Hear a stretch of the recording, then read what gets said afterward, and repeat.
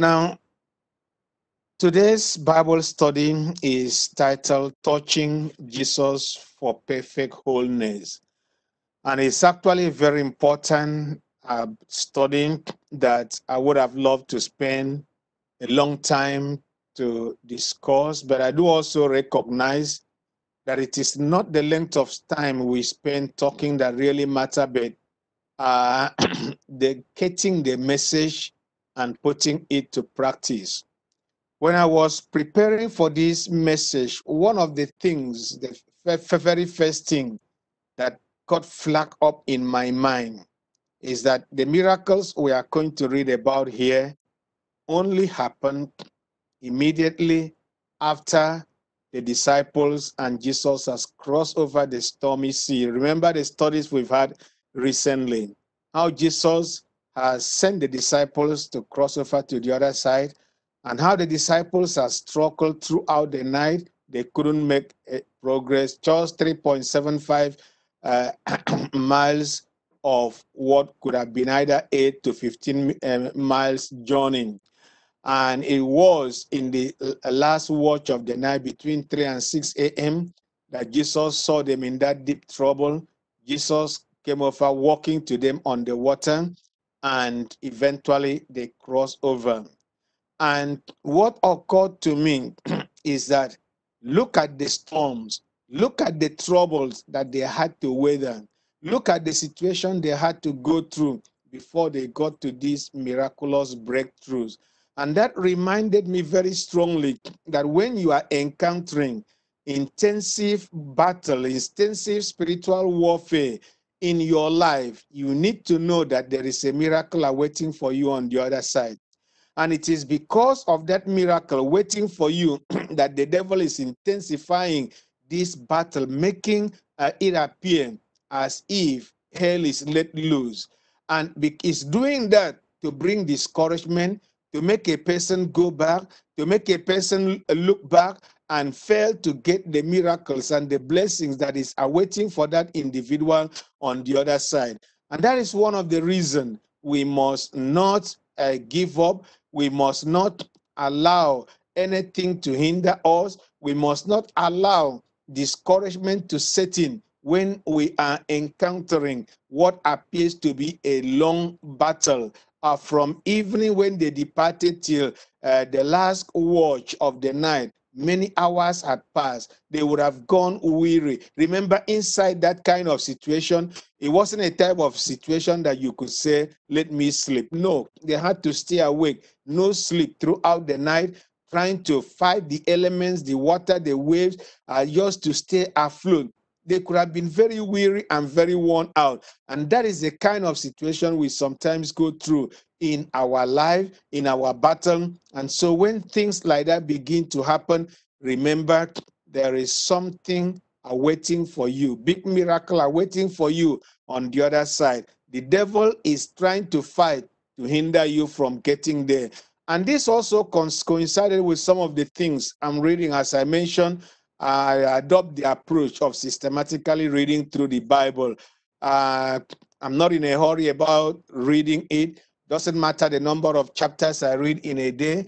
I just take it, I read it to understand, not just to uh, uh, uh, go through. And I don't keep a count of how many times I've read uh, through the Bible. Uh, if you ask me how, how many times, I wouldn't know because I don't keep any record. I don't count anything.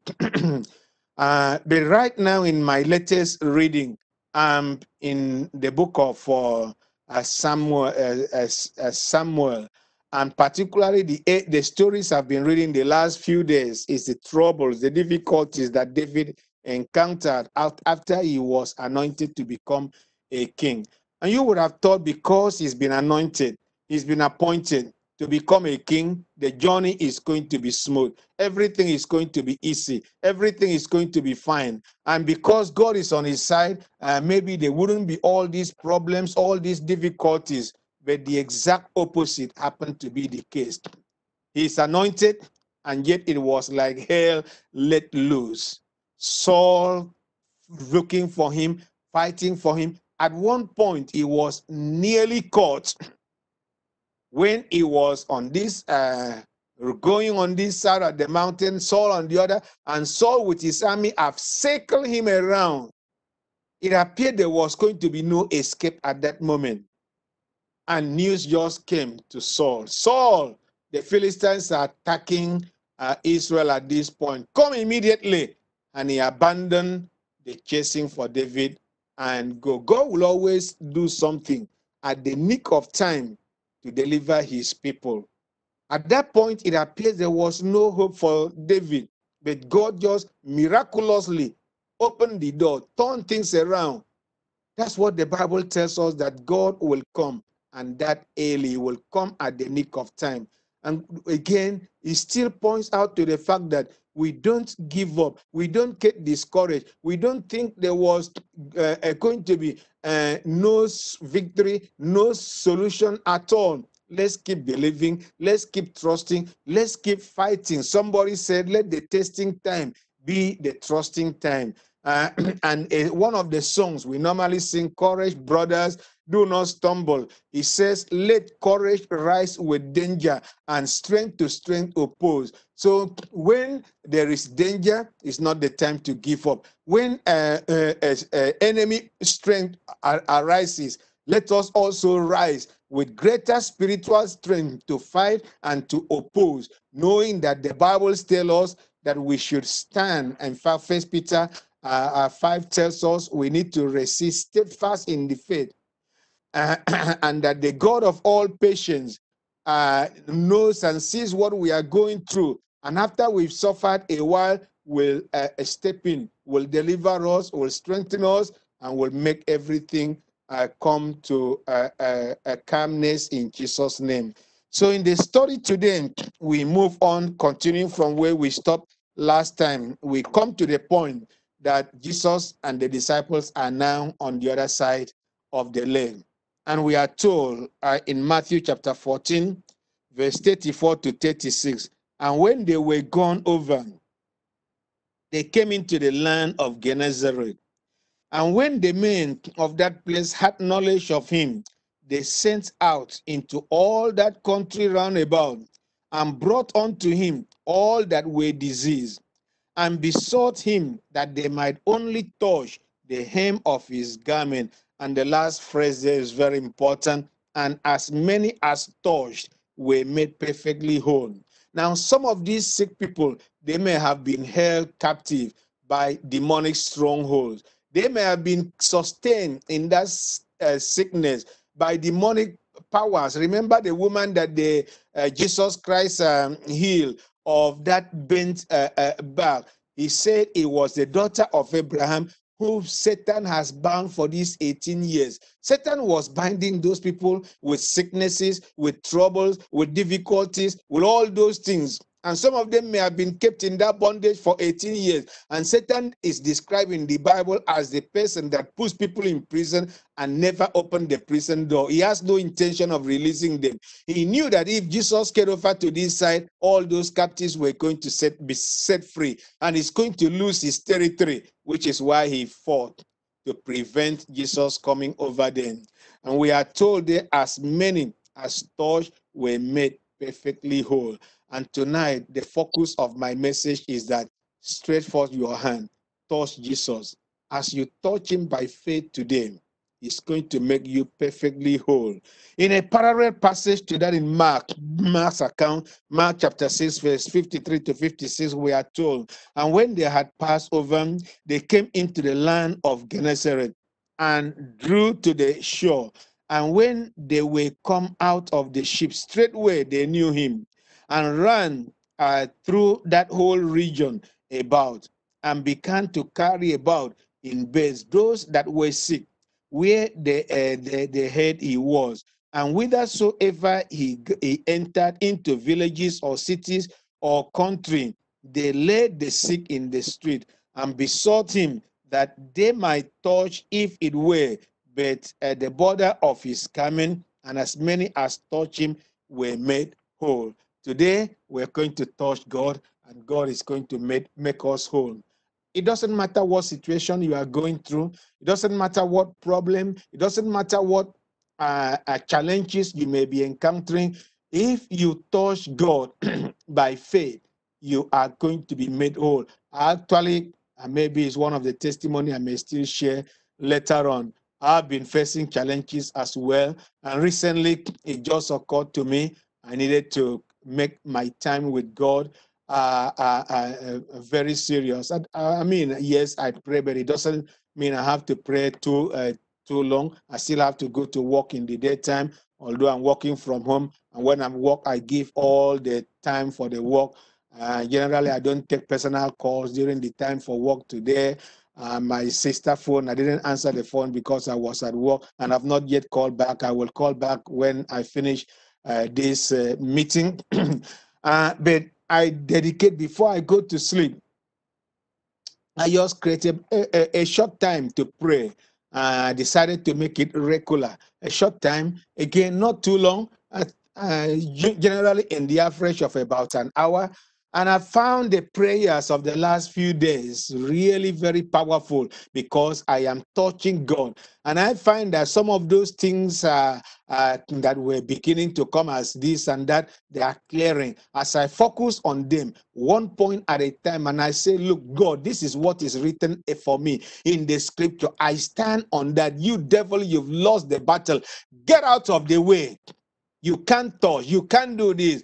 And I find that those things get destroyed and and I get the victory in Jesus' name. That is telling me that victory is possible. It is available for you and for me. I simply have to stand on what God says, on the word of God, on the Bible, and the Lord will do it for us in Jesus' name. So, what we learn from here is that there is no limit to the means whereby God can transmit his power it can use any means, any method, and we don't have to constrain God to one method at all. He rebuked backsliding uh, Balaam through a dumb ass. He passed judgment on a disobedient prophet uh, through uh, a backsliding prophet, and he fed Elijah through a sparrow, and later on through a widow woman that didn't even have enough to feed himself for a day she said, I'm gathering this stick to make the last meal. And yeah, uh, uh, and maybe after that, we just sit down and wait for that. And God used that situation to feed Elijah all through the famine. And what that is telling me is that God can do anything, anytime, through any means. I must not limit God. I must allow my faith to soar uh, in, into the height and to believe God that God will do anything he wants to do. Let me just quickly go through some of the points that I put down on the outline uh, uh, based on this text of the scripture. The first point there, it reminds us that every great storm gives way to a great calm and also great miraculous breakthroughs. So when you are passing through great calms, eh, sorry, great storms, know that there is a great calm ahead of you. Know that there are great miracles awaiting for you on the other side if you're not going to give up. The boat docked at Gennesaret at the fourth watch between 3 and 6 a.m. That was very early in the morning. And in both Matthew and Luke's account, in fact, sorry, Mark's account, we find some details. The Mark's account actually brought uh, forward some more details. He said, when they came into the land of Gennesaret and drew to the shore, so they've not even stepped out yet, as they come near to the shore. Uh, when they came out of the ship, straightway the people knew. At that 3 to 6 a.m., who were those people that were there? Maybe people that have been fishermen fishing in the night, or people that were just getting up early in the morning to go to work. I remember when I was growing up as a small boy in the village, sometimes we like when we are going for, for farm or a, a serious work, we like to leave very early in the morning. Sometimes four o'clock we start to say, let's get to the farm uh, on time and do the bulk of the work before the sun becomes too hot. Because when the sun, Africa sun, becomes hot, uh, people get tired. We always like to leave so early like that. In fact, for some people that want to go to market a, a, a long distance, sometimes they get up 2 a.m. to prepare and leave so that they get to the market before the people living in that place. actually get to the market themselves because they want to get the early bargain and make a lot of profit. So these people have maybe gone up uh, to fetch water or to do their normal business, whatever it were. And the moment they saw Jesus, they noticed it was Jesus, we are told immediately they ran throughout the whole region. They stopped what they wanted to do. They left what they wanted to do and ran to go and call people. and say, The miracle worker is here. We must use this opportunity. We can do our farming next day, we can do our business next day, but we must make use of these opportunities.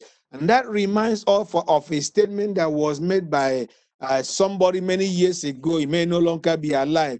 He says the opportunity of a lifetime must be seized within the lifetime of that opportunity. God will bring opportunity our way. God will bring something our way. And if we are just following a traditional routine. No, I have this routine. I have this tradition. I must keep to my tradition because I'm so I feel so comfortable, so relaxed when I'm keeping to those traditions and routines. You find that you may miss the opportunity that God is bringing your way.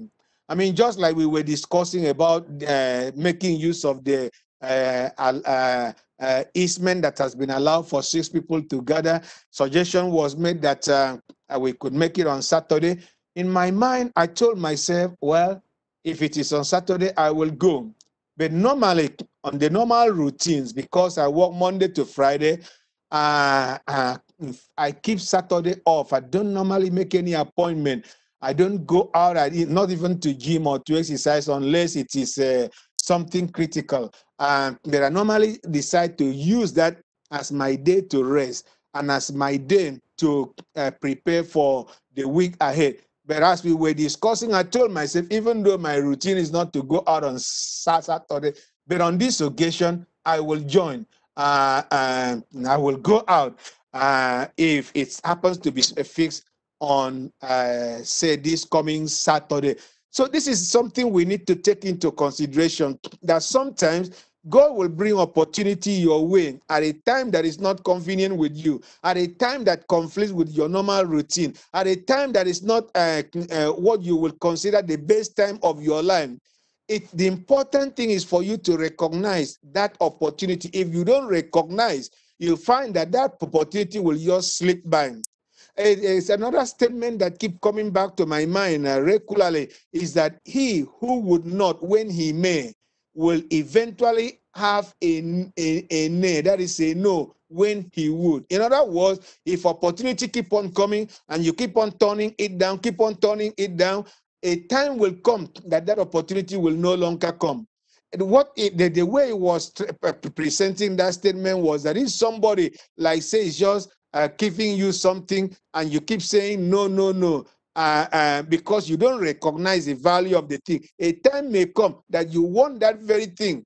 Maybe you rush to the same person and say, Give me this gift. And the person say no, because the thing has been used for something else or is no longer a priority for that individual. So we need to recognize when opportunity lands at our feet and we need to uh, ensure we don't allow um, uh, maybe our traditions, our self-made routines, or whatever to hinder us from making good use of that opportunity. So Jesus entered into the villages, cities, and country. His ministry was not tied to one place. In fact, Mark's account is actually what uh, uh, uh, brings that out. We are told that um, in verse 56 whithersoever he entered into villages cities or country so he was moving from place to place going from town to town city to, to, to city and so his ministry was not just centered on one place not one uh, uh, spot not one street not one locality he had to move from place to place, from place to place, and so on. Eh, and we need to follow his example. Remember when he commissioned the disciples, he says, if you go to one place and they don't receive you, don't waste all your life there trying to convince people that don't want to be convinced. Just shake the sand off your feet and go to other places. So that you will be able to cover as much grounds as what God wants us to do. We need to expand our ministry, think of other options we can use. Let's not just limit ourselves to one method that we've been using for a long time. You know, when you are you, when you've used a method for a long time, you become comfortable with it, you become associated with it, and you don't want to uh, move away from that. Again, I'm not saying we should throw away what has been established and proven to be working and to be helpful just for the sake that we want to uh, uh, change for changing sake. There are times people just keep uh, become uh, uh, uh, un unstable. They want to change just for the sake of changing, not because it is necessary. That again would be wrong. So the sick were laid on the street, and all of them that touched the hem of Jesus Christ garment were made perfectly whole. They touched the border of his garment by faith. It is the touching by faith that brought the healing. Remember when the woman with the 12 years uh, issue of blood touched Jesus Christ, and Jesus stopped and asked, Who touched me? The disciples felt it was strange to ask such a question. He says, Look at the multitude. They are trunking you. Everybody is touching you. Uh, why do you ask this kind of question?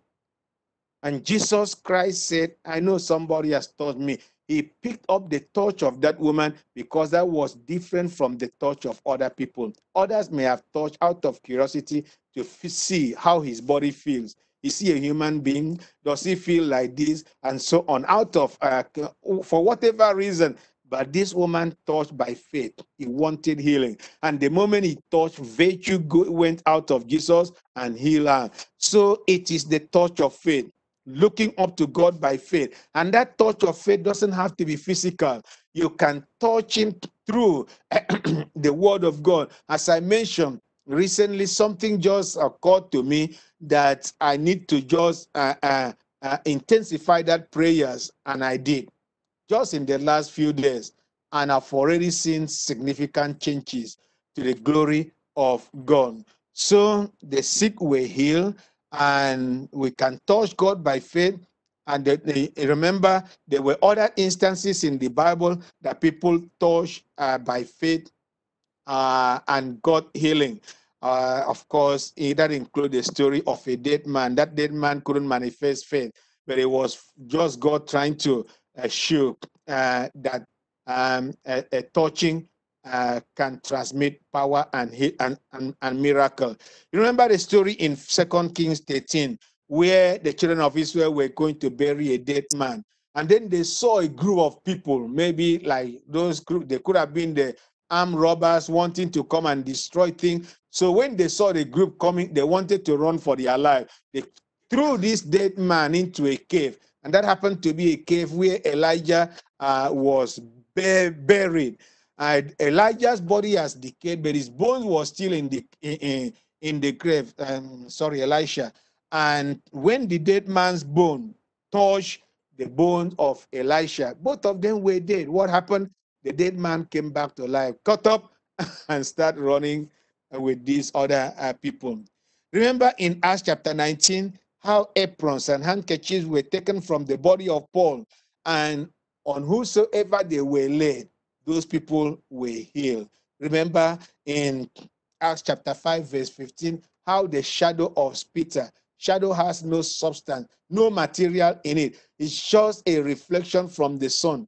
How the shadow of Peter healed uh, sick people that were lying down. Again, it tells us that God can do anything through any means. Jesus is the same yesterday, today, and forevermore. What he did in the past, he can do again today. What he did through Peter or Paul, he can do through you and me. We must, however, learn to seize the opportunities he presents to us daily and have faith in God. We are going to pray right now. We're going to call upon God and we are also going to touch God by faith. Whatever situation you are going through, whatever condition you are encountering, whatever challenge you are facing, just touch God by faith right now. Read, reach out and touch God by faith, and you'll find that your touching God by faith will bring the miracle that you need in Jesus' name. Let us pray.